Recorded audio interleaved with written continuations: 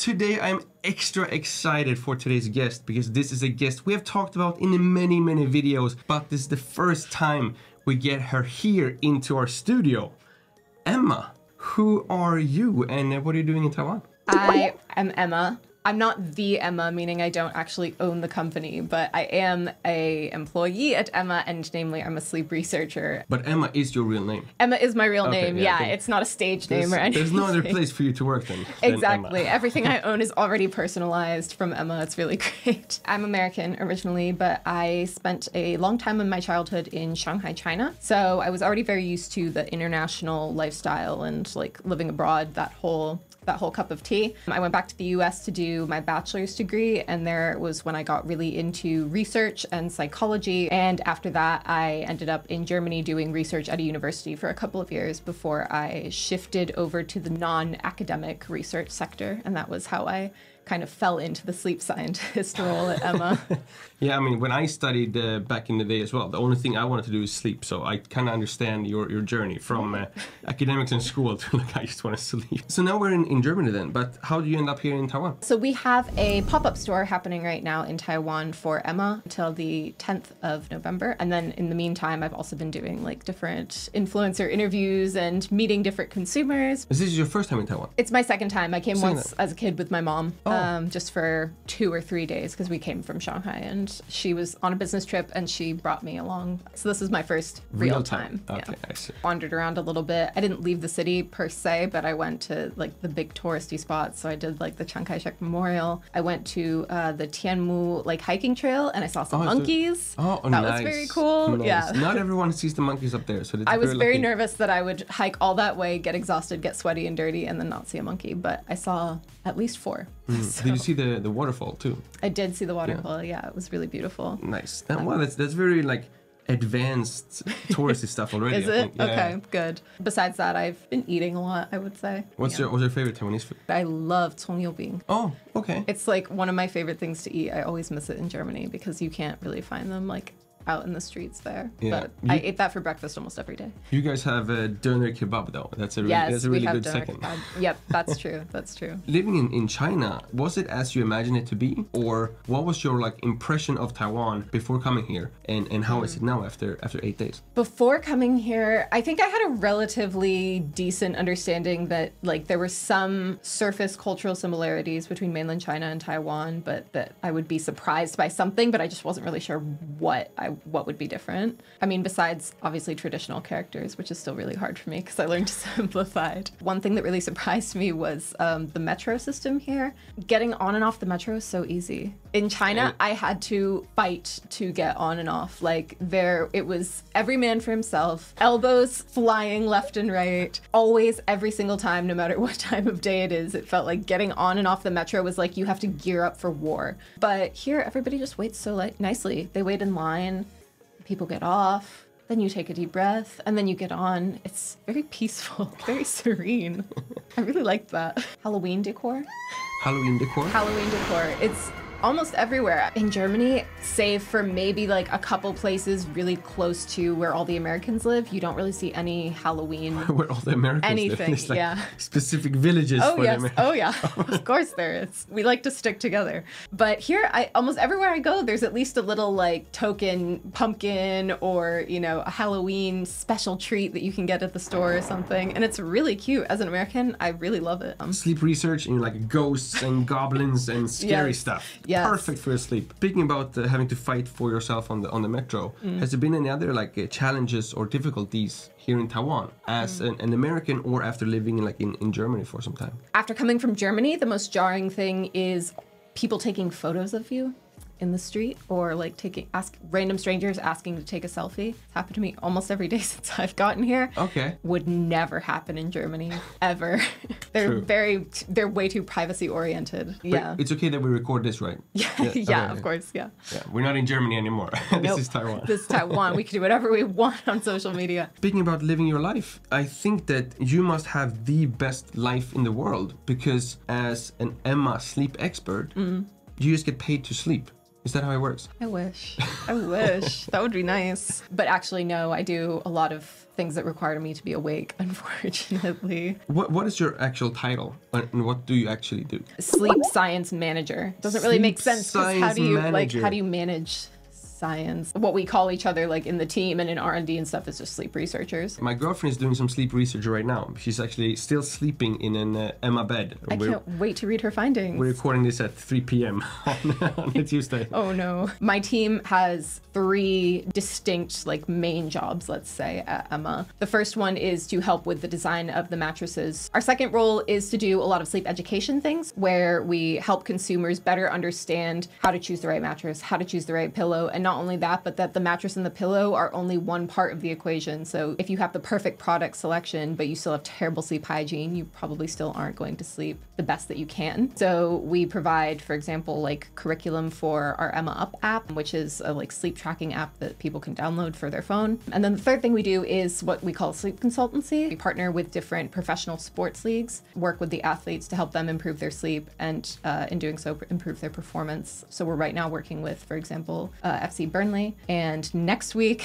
I'll fly to Spain and start our uh, sleep consultancy with the Atletico Madrid women's team, which I'm really excited wow. about. yeah. That's super cool. If you now have like a lot of science in the mattresses, why can't you just make like one mattress that is like this is the best mattress for anyone? Good question. One reason, very, very simply put, is that sleep is still a very individual and personalized process. For example, in Taiwan, we know that people tend to prefer more firm mattresses versus Europe. But other things like your body weight, your body shape, even your height, your age, your sex, all of these things can also influence the very specific parameters of a mattress that is perfect for your body, which is why it's you can't just design one simple uh, mattress that suits everybody's needs. Good answer to my good question. for you then, you personally, what are you sleeping in? Well, I'm waiting, waiting, waiting for us to launch one of our new product, which is the Black Diamond mattress. I think that's what it's called in the Taiwan market. The Black Diamond mattress. I'm waiting for us to launch that because then I want to order that and upgrade my lifestyle a little bit. I have the hybrid version here. Okay. And I have to say, recently I added the, the topper uh, on yeah. top of the hybrid one. Best combination. Yeah? I'm not, I'm not a certified Emma sleep expert research manager, but the best combination. Nice. if you ask Which topper? Which top? I don't know. There's only one Ah, topper, I think. Okay, maybe You got more toppers in Germany? Sorry, yeah, I think we have two in Germany. Okay. I Sorry. feel like we're gonna have a chat after this interview and see if we can get some uh, diamond fair. toppers here in Taiwan too. very fair, very fair. Based on, on your research, what do you think is like the main thing that the average Taiwanese person could do to like increase the overall sleep quality? The first one that comes to mind is temperature because, as I've noticed in the last couple of days, it is much hotter here and more humid than Germany. 18 degrees is about the optimal temperature for sleep. Like like your, AC for 18 degrees. Mm-hmm. Yeah. That's It's- cold even for me. It's quite cold, yeah. So, That's what? so test it out, see how you feel. If you wake up shivering in the night, it's obviously too cold. Turn it up a degree or two degrees. I like 20 degrees personally. Oh wow! But- yeah, I mean, I I have a fight with my girlfriend every night. Yeah? I I want to have like 22. Really? And my girlfriend has like 25. 25. That's Okay, now we have scientifically uh, proved I'm I'm right on this one. Cold Yeah. AC. My other things about like Taiwan specifically, I have never taken a nap Really? in my life. Then I come to Taiwan, and then everyone is like, "Let's take a nap," and I'm like, "Are you like three? You know?" Like, what are you talking about? Is there any scientific research there? Like, am I right again? Or is the Taiwanese like okay with taking their naps? you might both be right. Most people have a natural dip in their energy levels around lunchtime or right after lunchtime. People used to say that it was because you're using energy digesting food, but it seems that even if you don't eat lunch, you still have that dip. So, to not work against that system, but to try and schedule very low effort tasks for the time right after lunch or the time when they feel like that dip in energy hits them the hardest. The other thing is the duration of the nap. That's a big component of whether or not I can give the sign off on it as a sleep scientist. When you sleep, you're not it's not just one like static state that you're in for 8 hours or for however long your eyes are closed. Actually, we're going through different uh, phases which we divide into three distinct phases. So the first is light sleep, then deep sleep, and then REM sleep, which is rapid eye movement. And if you someone Rapid eye movement. yeah, When you're sleeping. yeah. And so if you look at someone who's sleeping and they're in this phase called rapid eye movement, you can actually see underneath their eyelids their eyes darting back and forth. Do we all do that? We all do that. It's perfectly natural. In fact, it's very healthy for us to do that. We shouldn't try to avoid it. Yeah, it looks really truly exactly like you're doing. Have to zoom in on it when you edit the, the footage. So let's say that you're gonna have like an eight-hour long night sleep. Mm-hmm. You will still go through like these cycles. Yeah. So typically, like a good night of full sleep is between four to six sleep cycles. And each sleep cycle, you go through each of the phases. Light sleep typically is about the first 15 to 20 minutes after you fall asleep. Then you enter into deep sleep. As the name might imply, from deep sleep, you're sleeping more deeply. That is, it's harder to wake up from. And if you wake someone up during deep sleep because they're not, like, let's say, naturally programmed to wake up from that state, then they'll experience something that we call sleep inertia. People who take a nap and then you wake up and you're like, where am I? What year is it? What's my name? Oh yeah. That's because they're experiencing sleep inertia because they've been woken up during deep sleep. So, when you take a nap, ideally you should be concentrating it into this light sleep phase, which is about the first 20 minutes of sleep. After that, you enter into deep sleep and you'll have a harder time waking up and you'll actually feel you'll perform worse for about 30 minutes to an hour after waking up. There's been studies that have shown even 10 minutes is uh, enough to gain some performance boost right after you wake up sound as well because typically we should be sleeping in a quiet environment. Um, so I've also had trouble the last couple of days with uh, the Taipei traffic outside my hotel. Some people don't have a problem. I feel. Yeah, Like- some people just get used to it. I mean, that's the very basic, not yeah, not like- very scientific Like answer. my, my previous roommate and, and my girlfriend now, Mm. they get both like you know it's it's 2 p.m. It's super bright lit living room. I think I'm just gonna take a nap. And they just like fall asleep like that. Wow. Mm. Or, or my girlfriend in in cars, in trains, in planes. I cannot fall asleep if I move. Like in a car, in Mm. a train. Maybe you can do some research on me, finding out like what the problem is here. I mean, I know that I'm really freaky in that actually when there's turbulence on a plane, I instantly fall asleep. I feel so relaxed. I instantly pass out. If otherwise, I can't really sleep on a plane, but if there's turbulence, then I'm done. I'm not crazy, even though it's so- it sounds a everybody I know crazy. tells me I'm crazy. I'm just expecting like the next Emma slogan be like, as comfortable as turbulence on airplane. Uh-huh. I really don't understand why people hate it so much. It's so lovely to me. Yeah, it's, it's not for. Oh wow, yeah, that sounds like a great sleeping experience right there. That's what I want. It's great. I'm hoping on my flight back that I can ride the turbulence wave. I mean, one way you could try to kind of force yourself to get used to it is to only try to sleep in those, like, let's say, non ideal contexts when you're really tired. You could try that.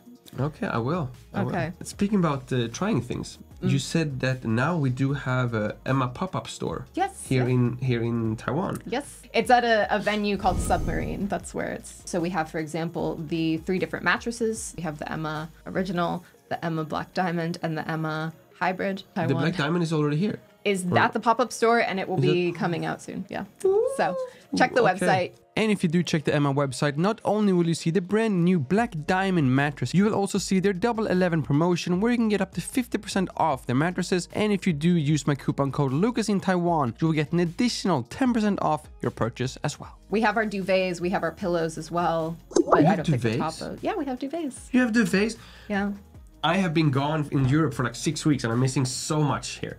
Things are happening. And- we move fast at Emma. And if you also have the opportunity to try the, the Black Diamond mattress, please do so and let me know what the mm. difference is because I've actually never tried it. I never seen, I never heard about this until now. How much science does it actually go into like designing the beds? Emma original mattress is mm-hmm. 100% memory foam. Yep. Doesn't really sound like it takes a scientist to design that. It's like, I have an idea. 100% memory foam.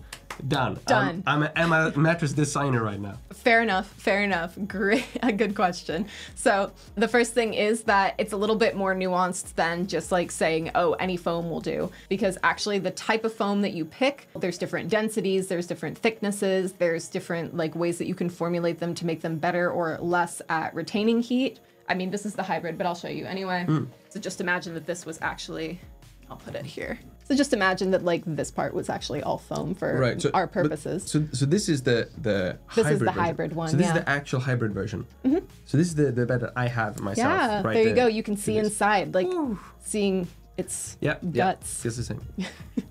So see, like these different layers here, the different colors represent different types of foam. Top layer should typically be something that's more breathable and feels a little bit softer to lay on, whereas the inner layers, so in the memory foam mattress, like replacing where the um, the springs are, that layer should typically be much thicker foam that's a little that's more supportive of your body when you're laying on it, and it's a little bit harder to like if you press down to fully compress. Whereas if you see like when I press here, the top two layers of foam they condense right easily, like quite easily down into just a tiny little sliver. But then the bottom two layers, they're staying relatively level because they have different densities, different thicknesses, and they respond differently to pressure. Okay, so if you ever wondered how exactly my own bed looks like, uh, Yes. it looks like this. I think that the Emma original one Hmm? is the most comfortable, but I sleep better in the Emma hybrid. Does that make sense? Or is that just like something I'm imagining? When I lay on the original, I feel more like I'm sinking into it. I feel more like cuddled by the mattress. Yes. Whereas the hybrid, you feel there's less less of your skin, less of your body is in contact with the actual mattress surface, and that's primarily because of the springs. They're doing this extra work to support your body. And as to why you sleep better on the hybrid, mm, could be because you're getting old and you need a little bit more support. Excuse me? It's simply a fact of life. We're older now than we were when we started this interview. That's, that's true. That's true. Yes. air can pass much more easily through springs, and therefore hot air from your body can dissipate into the room more quickly than with memory foam, where the air kind of like goes into the mattress and can come in and out a little bit depending on the porosity of the foams, but it doesn't have nearly as much ability to escape. Um, so it could be the temperature regulation as well that contributes. I should also mention if you also want to try out the different mattresses, you of course have 100 nights sleep Ah, yes. guarantee from Emma, so you can return the mattress if you if you for some reason want to return it. But now with this pop-up store, who Hmm. is available until when? I believe the 10th of November. 10th of November. Uh, you can just go there and try it out yourself. Please go check it out. You of course have all the links and everything you can possibly need down in the description. And uh, now you have two days left here in Taiwan. Haha, no, I leave tonight. You leave tonight. I leave tonight. You yeah. leave tonight. At 10:30 p.m. Oh wow! I know. And then it's straight back to Germany. Yes, yeah. To, and I uh, have a direct flight, which is kind of nice, kind of to long. Germany. Yeah. Oh, that's nice. I just transferred like six hours in Dubai. The amount of traveling. Yeah. Is, uh, is as, you, as you said, I'm getting old apparently. So uh, Sorry, too didn't mean to- too old for to travel. Never too old to travel. Never too old for travel. But I hope that you also don't get too old to travel back here to Taiwan, so we get I to have uh, another sit down here with you. Yes. And I hopefully that will also mean that there will be even more of these uh, secret Emma mattresses and toppers that they have back home in Germany in their in the sleep factories. Yes. Uh, so we hope that you will come back here with Thank some you. hopefully new black diamond mattresses and toppers Yes. and everything. And these duvets, I'm very curious about the the Emma Go duvets. to the pop-up store. You can test them out. There There we go. go. There we go to the pop-up stores. Thank you all so much for watching. Thank My you. name is Lukas. Starts with L as in like, ends with S as in subscribe. Please do both, and see you all in the next one.